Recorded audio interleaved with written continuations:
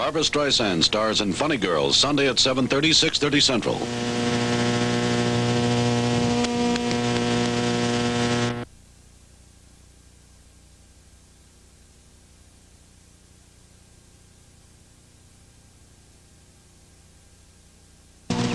Credit card should you take on vacation?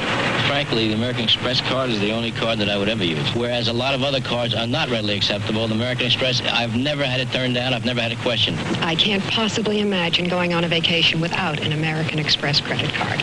American Express just opens the doors for me wherever I want to go. I never travel with cash. I always travel with an American Express card. It's a dynamite credit card. Call 800 AE8 5000 to apply for an American Express card.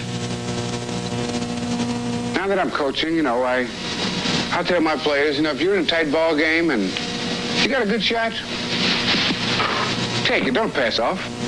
Now, the same thing holds true when it comes to saving money on long distance.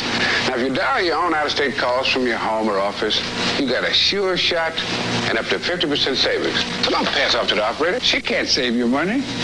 To save on long distance, you put them through yourself.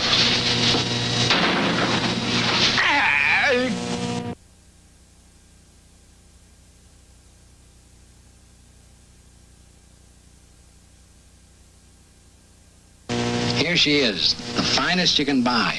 How do I know? I made them by hand. Took me 12 days. For you, a bargain at 80 bucks. Now here we got the opposition. Farah double knits at 20 bucks. Their secret? A great fit. And I hate to admit it, a lot of pant for the money. What am I wearing? You gotta be kidding. I know a great buy when I see one. Farah slacks, 10 to $30. Next best thing to tailor-made. Maybe better. The Scandinavian takeover. It started with the blonde and was continued by Erik.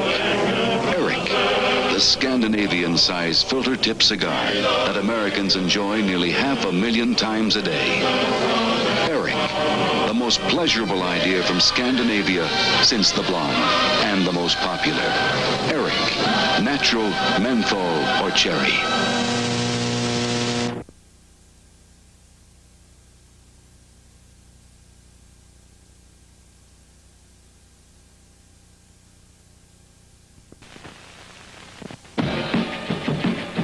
Good evening from ABC News headquarters in Washington. I'm Howard K. Smith.